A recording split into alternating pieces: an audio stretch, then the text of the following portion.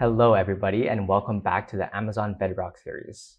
In our last video, we covered a simple AI chatbot that used the Amazon Bedrock API to access a variety of LLMs like the Claude Sonnet model. In this video, we'll be implementing a RAG pipeline, which includes loading, splitting, embedding, and storage into a vector database to allow us to do similarity searches to kind of chat with our data. If you use tools like LangChain, the code can get a little bit hard to debug since you're doing all these imports and you still have to kind of have an underlying knowledge of how the embeddings process is working in the RAG pipeline. Tools like Amazon Bedrock are basically no-code versions of a RAG pipeline where you get fully managed support for the end-to-end -end workflow. So no need to code anything. You just link it up to your data source and you're off to the races. They handle the entire pipeline for you. One of the main use cases for using AWS Bedrock is that it already integrates really well into existing serverless architectures, particularly on the AWS platform. So Toyota is using petabytes of data from hundreds of sensors and millions of vehicles, and then ingesting that into a data lake architecture where there's ingestion, decoding, and transforming using a variety of AWS services. So AWS Bedrock could fit somewhere here in the analysis portion where you can take your data and ask the LLM to summarize insights on that data. In this blog post by AWS, they do a case study on Lonely Planet, which is a generative AI travel itinerary service. And they personally chose it for the security that you get from AWS Bedrock as well as the ability to swap foundational models really easily. Okay, to get started, go to your AWS console and go to Amazon Bedrock. You'll need to ensure that the region you've chosen is going to match the region that your model has access in. So if you go down to model access, you'll be able to see all the models that you have access to. And you can see that I already have access to a bunch of Amazon models as well as some, as some Claude models. So if you want to change which models you have access to, just hit manage model access click the ones that you want access to and hit next and get approved. It usually only takes a couple of minutes. Okay, so first we're going to navigate to knowledge bases on the left hand side here.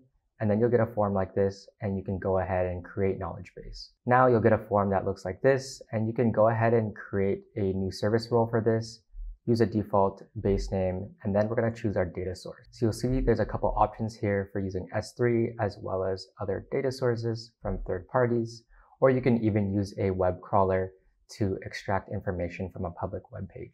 For this video, we'll just use the Amazon S3 bucket that I've populated with a couple of PDFs. So now we get this page where we can use the default data source name again, and then we'll choose the S3 bucket that we created and I've just set it to public so that we don't get any permissions errors. Okay, so now we're gonna get an option to select our embeddings model.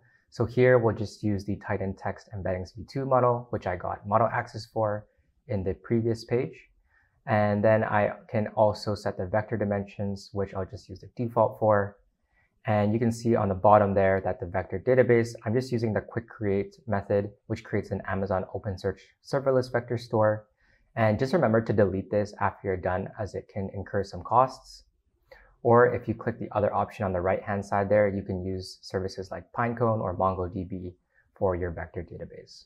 Okay, now we'll take another second to review all of our details and everything looks good. So we'll go down and create our knowledge base. This should take a couple minutes to complete, so I'll check back in when this is done.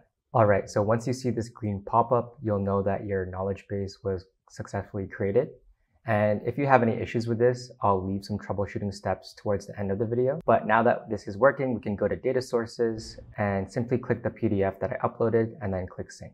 You'll see this pop up that it's syncing and then just let it load for a couple of seconds. All right, so now that our data source has been synced, we should see this chat pop up on the right hand side where you can click select model. If you don't see it, then there should be a little blue icon on the right hand side. So now we'll just use the Titan Text G1 model uh, but you can use any model from this list here. And once that LLM has been applied there, we can test out with a simple query to summarize the PDF. This is going to call the retrieve and generate method, which basically does a similarity search and then passes the results from that search into the LLM. So you can see here that we got a response from the LLM and it even has these citations in blue, which are um, actual snippets from the PDF that we provided. If you go to show source details, you can see the five chunks that it used to supply this response.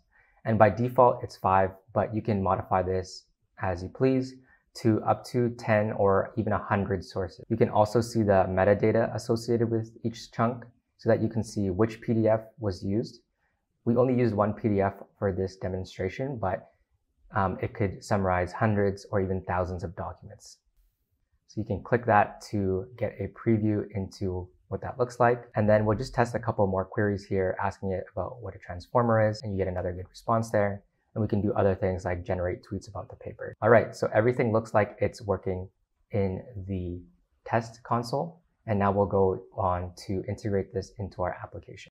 All right, so the next thing that we need to do is to get our model ARN. And we can just copy this command from the AWS documentation. And if you have the CLI configured, then you'll be able to just paste this and get information about all the foundational models. You can see that it also gives you this response streaming supported flag, which tells you if you are able to use the um, invoke response with streaming method, which gives you that chat GPT effect where you get the word by word response streamed back to your application. So I'm just going to look for the Claude Sonnet model here. And I'm going to grab this model ARN and I'll paste that into my environment file. The next thing that I need to do is ensure that my region name actually matches the one that I set previously. And it's the one that my model access was granted for. So in my case, it was US East 1, but you can see there in the top that I have US West 2 in the ARN.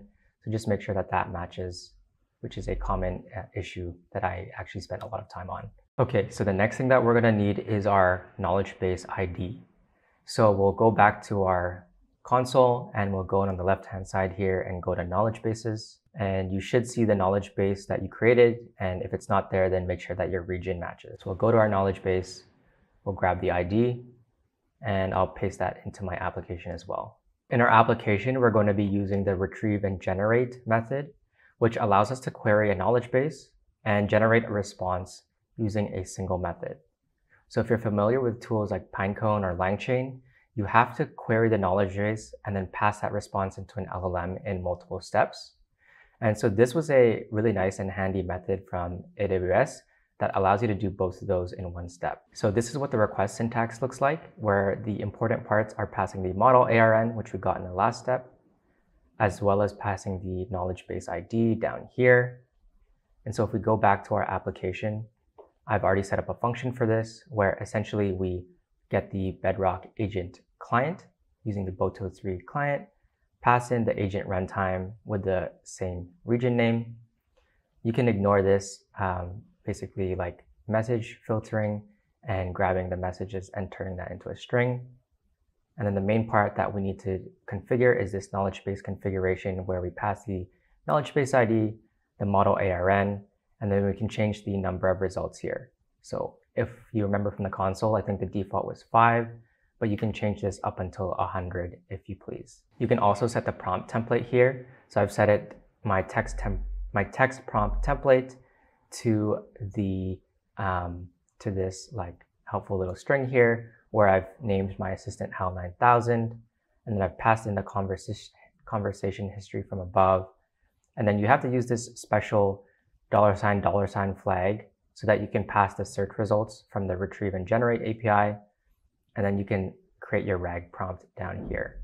The one common bug you might see is this 400 bedrock runtime error, where essentially the model that you chose is not one that you actually got access to. So just go back to your console and check that you actually got the model access in the same region that you requested. You should also note that the Claude Sonnet v2 model, which was released in October, I believe, I think it's only available in US East 1, which is why I actually used US East 1. Another quirk about using AWS Bedrock, especially for testing, is that you'll commonly get this throttling exception where if you call the API too many times, you might get this uh, error where you've requested too many times. So if you get this error, all you have to do is go to the AWS um, request for quotas page where you have to submit manually through a form to get your limit increased. there is a lot of demand for this right now, so it's not really sure how long it'll take to get your request approved. But if you go to the limit increase form here, you can fill out the exact reason and um, for why you need this service quota increase, and then you can submit that for AWS, AWS Bedrock specifically. All right, so I've just integrated a simple chatbot uh, interface here, and I just sent a first message asking it to uh, introduce itself, and it looks like our custom prompt here is working as it's referring to itself as HAL 9000. It already knows that it's been programmed to give responses on the paper, which is the transformer models. And this is just because we've set the retrieve and generate uh, method to be called every single time. So we're going to ask it to trans, uh, summarize the transformers paper and we'll see what we get here. So you can see that it's taking a couple of seconds because we haven't integrated the streaming method onto this. And actually the streaming method isn't supported on the retrieve and generate API. So if you do want to get that word by word uh, response, which really enhances the user uh, experience, then you'll have to do a custom method where you do the retrieve step first and then the generate step secondly using the invoke model with streaming response method from AWS. But as you can see here, it took a couple seconds because the response was pretty big. I haven't formatted it at all yet, but you can see here that it gives a lot of uh, relevant information uh, based on our query. Another common bug you might see when creating your knowledge base is that you can't create it with a root user. So you'll need to create a new IAM user or role for this. And that'll allow you to create the OpenSearch vector database. So while that's all there is for today's video on knowledge bases, make sure to check out my other video where I cover using the Amazon Bedrock API to access the Claude Sonnet and Llama models. Additionally, if you're interested in building out your AI ideas, such as maybe a therapy chatbot that connects users to local therapists in their area, then make sure to check out the link in the description below where I work with clients to build out their AI ideas in the field of chatbots or retrieval augmented generation.